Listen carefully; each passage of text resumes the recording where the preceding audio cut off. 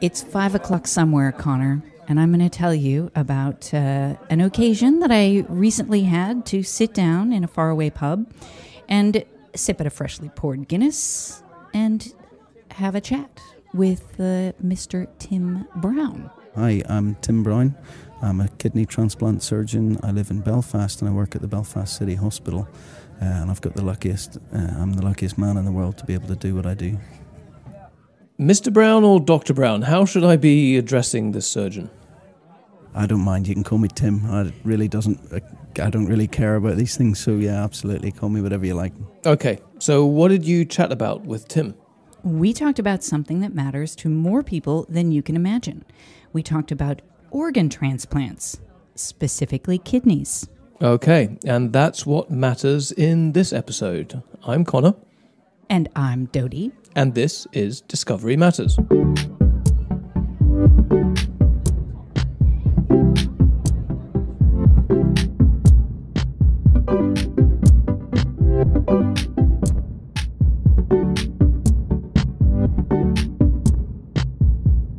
Tim is a smiling man who loves his job, and it might seem strange that Tim loves his job after you hear how often he deals with death or with near death. In the UK, there are about 8,000 people on the waiting list for a kidney. And there are currently uh, around 3,000 donors a year in the UK. So clearly, there's a huge gap between supply and demand. Uh, the really scary uh, statistic is three people in the UK every day die waiting for an organ. You're right. There is a shortage of donor organs, of course. I mean, in any given year, there are hundred thousands of thousands of patients on the waiting list for an organ, and maybe worldwide, 80,000 receives uh, an organ transplant. Wait, who, who's this? My name is Henrik Nittmar. I'm the CEO of Corline Biomedical. Yeah, sorry. We're going to leave Tim back in the pub in Belfast for a few minutes, and we're going to hear more from Henrik, the new guy because uh, they're involved in the same fight. We're going to come back to Tim, but right now, Henrik, we're going to hear what he's doing. We're trying to better the outcome of transplantation, kidney transplantation specifically, by improving uh, organ quality into that into that kind of uh, surgery. And unlike Tim, Henrik is not a surgeon; he's a businessman. He's the CEO. I'm a PhD in innovation management, so I drive the uh, development of, of the product rather than, than the science. The perspectives that you bring to a company like this should be complementary, and I, I definitely bring a complementary perspective to the kind of hard science of, of uh, clinical science that you, you normally meet. So I think we do uh, do kind of feed into each other's um, perspectives. Now, Conor, you know how we ask all of our guests on Discovery Matters to explain stuff to regular Joes? Henrik gave us a pretty good analogy. If, you, if I could use the metaphor of a house, uh, we're trying to improve on the plumbing of that house. If you have a leakage in, in the plumbing, that will lead to immediate consequences of kind of a water leakage or something like that, but also downstream, uh, maybe a rotten wooden structure or something like that in the house. And the same goes for a, for a kidney. That is, uh, if you have a the plumbing then is the vasculature in that in that kidney. If you have a injured vascular bed, that will lead to immediate effects uh, during transplantation in terms of coagulation and immune reaction problems. And also downstream, that will lead to a poorer functioning graft or transplant uh, if you look maybe three to five years out. We're repairing the plumbing, we are mending the, the leakages, uh, we are mending the injuries in the vascular bed with a tool that we have developed. So it is very much of, of trying to improve on, on the plumbing that is already there. We're not repiping the house, we're just repairing it uh, and making it. Um, making it sustain the kind of uh, pressure that the transplantation is, is for the patient and, and the organ. And what Corline Biomedical's technology also does is help produce better quality organs. The organ shortage, the imbalance between a need for transplantation and the, the donor pool, uh, leads to surgeons accepting what they call expanded criteria donors. That is, really in, in layman's terms that is uh, donors donor organs from from older donors that have a history of illness for example hypertension or uh, pre-diabetes or something like that And that leads to maybe poorer plumbing in those organs, if I may use that metaphor. Uh, and then they are more susceptible to the, the damage that occurs during transplantation, which is the one we want to avoid. So we are improving on, on the quality of existing organs, but we also, in long term, uh, uh, giving the surgeons an opportunity to accept those organs into transplantation. That is mm, how we try to increase the pool of organs. So we're using a, a, a very well known pharmaceutical agent that is called heparin. It has been in use for more than 100 years and uh, daily, uh, even today, it's used in all kind of surgical operations uh, to avoid blood blood clotting uh, when when uh, when doing surgical operations. Uh, so and and that is a very good pharmaceutical agent and well known for its functionality and its benefits.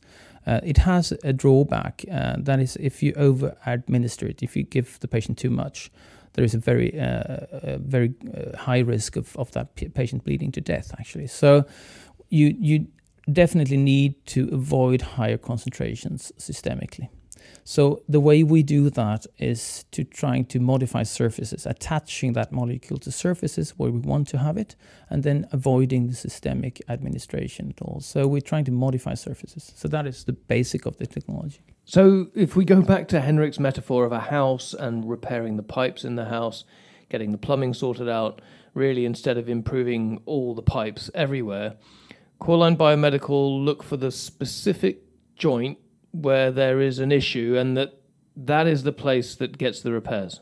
Exactly.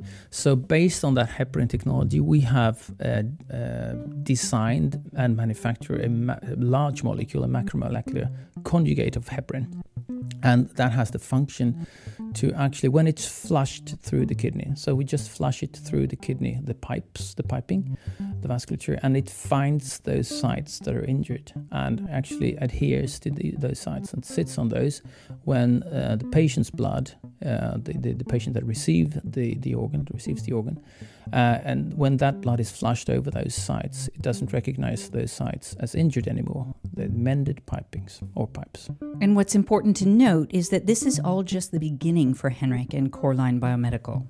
Uh, we had just started our phase one trial, uh, which is done in, in Uppsala and at the Karolinska Institute in, in Stockholm.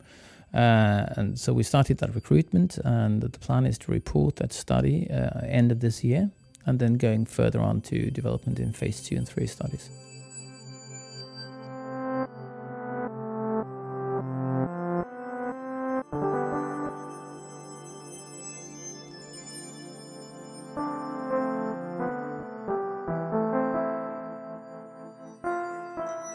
So, what's Henrik's vision, though? For example, like in a hypothetical situation, after a motorcycle accident and there's a kidney available for someone who's been on a list for five years, what would Corline's innovation actually do? Our vision is that this this technology could be used to prevent the, the, the injury that is sustained during the transplantation that we're trying to avoid. In clinical terms, it's called DGF, delayed graft function, and that is defined by the patient actually going back to dialysis during the first seven days after transplantation. So it's it's a kind of you could say failure because you want to avoid having dialysis sessions after being transplanted.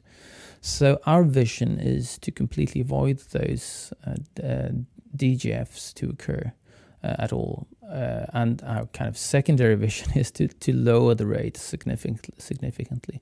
And in the terms of the motorcycle uh, accident you were referring to, one might then say that uh, that we want to add this preventive technology to avoid that DGF, no matter what type of of uh, recipient that you present to that organ. So you have have have the possibility to avoid all those uh, injuries that you would, would otherwise sustain.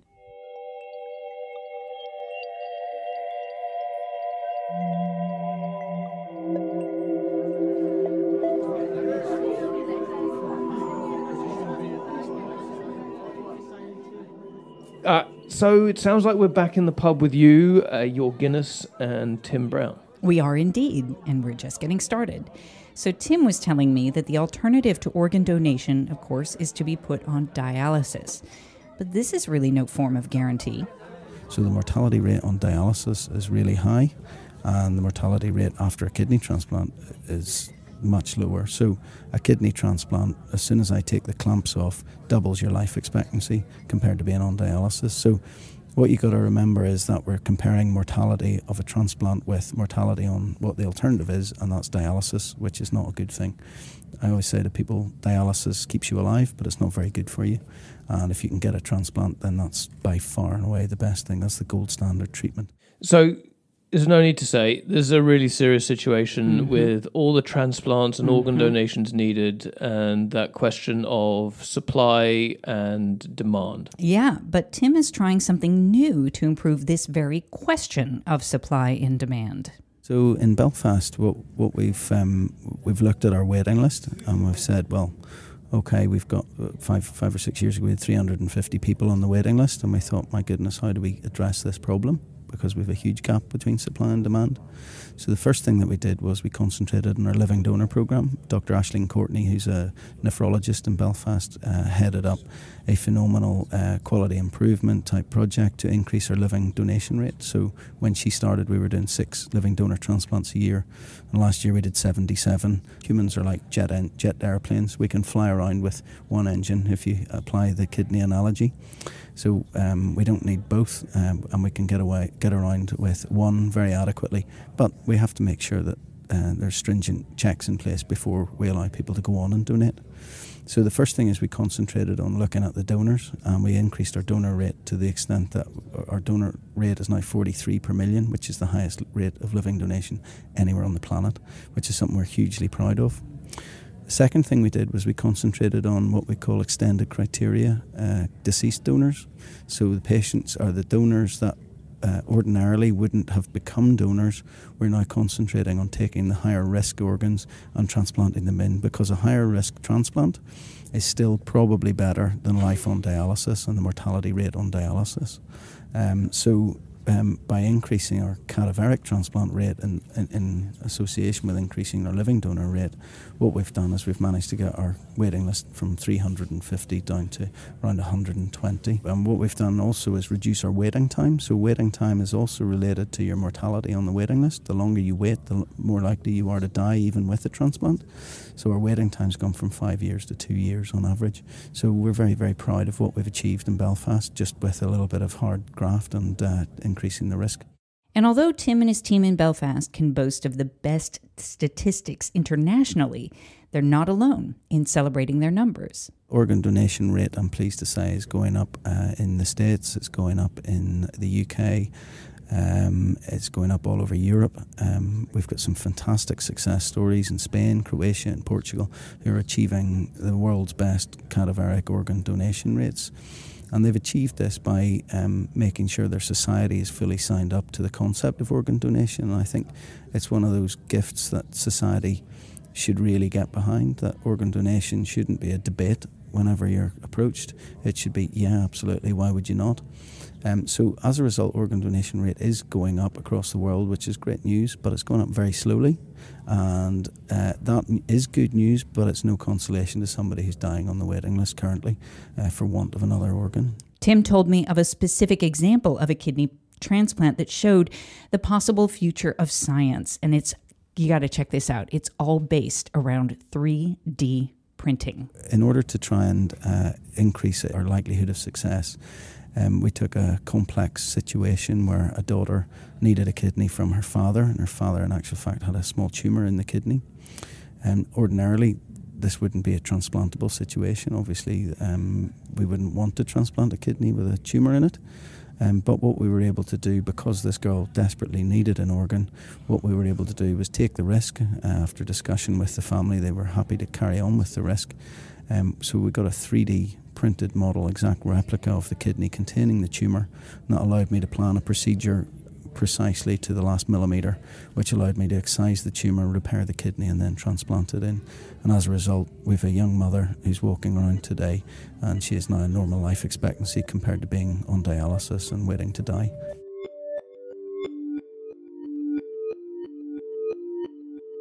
So, look, I've been really excited about 3D printing in regenerative medicine ever since I saw them print Milla Jovovich in The Fifth Element um, back in, what, 1997 or something like that? Reconstruction complete. I told you. Perfect.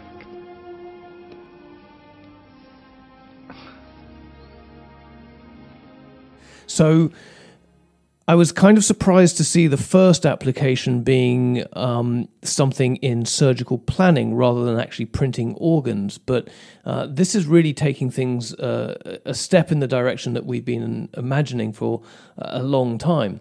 So, look, another hypothetical here. What if that young mother Tim had helped save? What if her daughter, maybe in the future one day, might need a transplant of her own? Are we going to get to the stage where we could actually use 3D printing technology not just to plan surgery, but to actually print her the organ that she needs? Are we going to get to that, or is that just in my sci fi brain somewhere?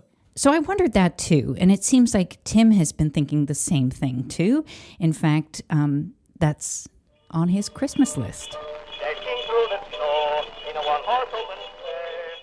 That's exactly what I want in my Santa Claus list. I want to be able to go to a shelf and use her uh, specific DNA to be able to print off an organ so that I'm able to transplant it into her without the need for immunosuppression before she ever ends up on dialysis. That would be my holy grail. However, I think probably in the future, um, people like me will be a thing of the past. Transplant surgeons will be will not be required because uh, the tissue engineers and the cell biologists will have stem cell technology down to a T, so that instead of me having to replace their organs, what they may be able to do is to inject some sort of cell or elixir, if you like, into the organ that will repair the broken organ without me needing to put in a new one. I think that's probably where we should be heading. Um, personalised healthcare, so we use the patient's own cells to redesign themselves, I think would be the holy grail. And um, I would be sorry to be a thing of the past because I love what I do, but do you know what? If it's all about the patient, a patient doesn't want a transplant if they didn't have to have one. Okay, so look, we're all over the place here. We seem to have to go through from the whole scale. We're in a drastically desperate situation. He's got this vision for 3D organ printing, and maybe in an ideal world, he'd like to be. Uh, completely unemployed. This is like getting whiplash in this conversation. it is. It is. I'm gonna go and cry into my cry into my beer in a minute. So yeah, absolutely. So maybe we need to do every episode of Discovery Matters in a pub, but um, this was a really alcoholic first. one. Uh, tune in next time for a more sober episode of Discovery Matters. Thanks for listening. Bye for now.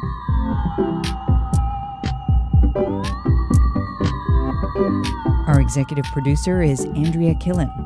Discovery Matters is produced in collaboration with Soundtelling. Production and music by Thomas Henley.